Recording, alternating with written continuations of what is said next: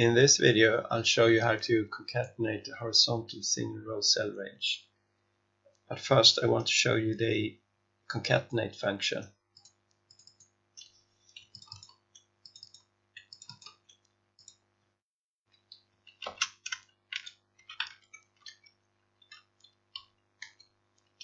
And then click and hold the control key and then select each cell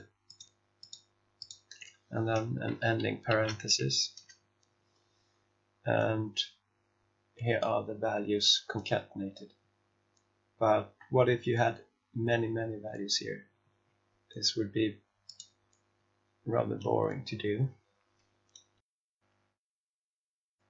Now I'll show you how to do this in a more efficient way.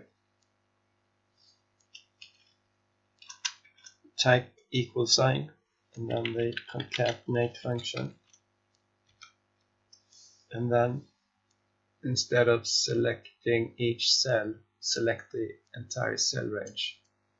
And then an ending parenthesis. And then select the cell reference. And now press function key F9 and this converts the cell range to constants and then remove delete the cur curly brackets.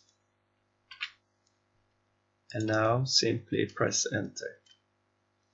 There it is.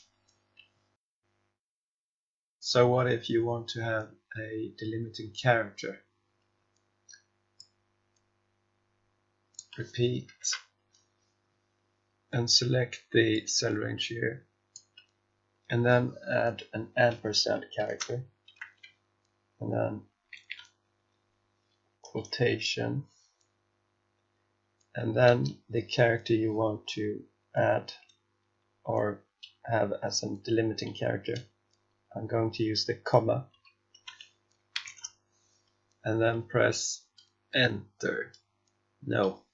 And then select the cell range and the ampersand and the remaining characters and press function key F9 and then remove the curly brackets. And press enter. And if you don't want the last comma delete that one.